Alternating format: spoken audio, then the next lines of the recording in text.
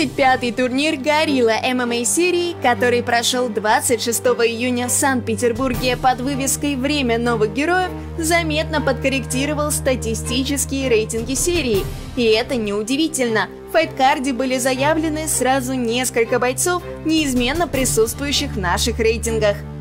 И начнем с самого активного бойца Горилла ММА серии Артема Семенова. Его карьера – это ответ на вопрос, что может дать бойцу Горилла ММА серия. Чуть более года назад Артем провел свой первый поединок в профессиональной карьере.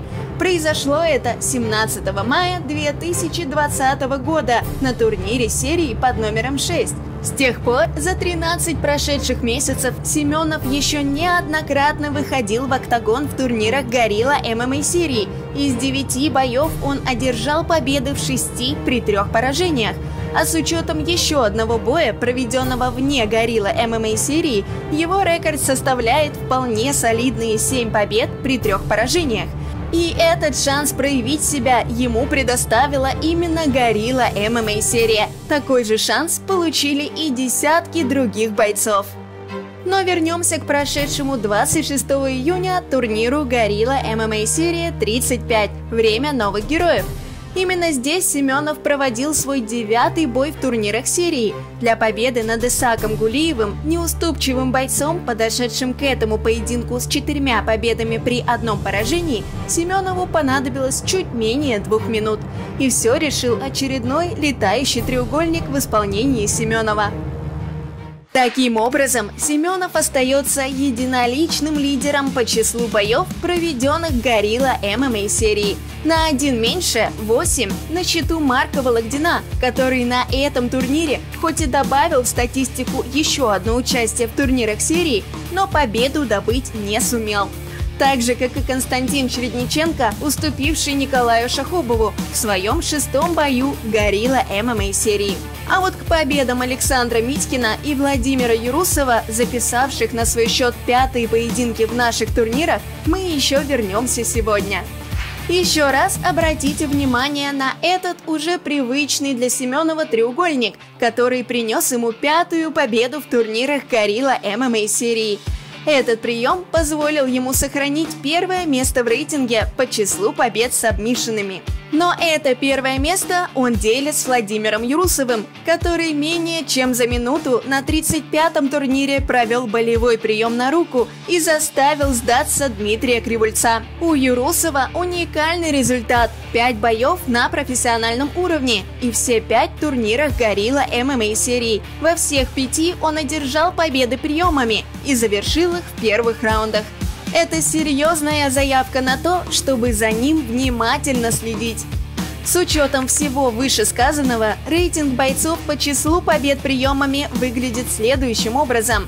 Лидеры – Артем Семенов и Владимир Юрусов с пятью сабмишинами. На две победы приемами отстают трое – Максуджон Кадиров, Александр Митькин и Константин Чередниченко.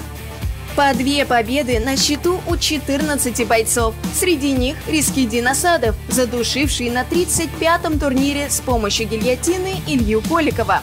Но еще несколько слов о победе Митькина. Как и Асадов, он исполнил гильотину и менее чем за минуту заставил сдаться Фархода Ибрагимова.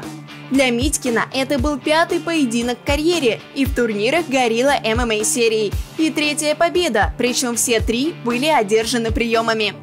А вот в рейтинге нокаутеров серьезных перемен не произошло. Марк Вологдин потерпел второе подряд поражение в турнире серии, а два других лидера в этом турнире участие не принимали. По две победы на счету у 23 бойцов, к которым присоединился Николай Шахобов. Победа в бою против Константина Чередниченко досталась Шахобову уже через 40 секунд после начала первого раунда. Досадная травма ноги помешала Чередниченко продолжить бой, который начался весьма ярко. Но спорт есть спорт, и травмы в нем случаются. Пожелаем Чередниченко скорейшего восстановления и возвращения в октагон.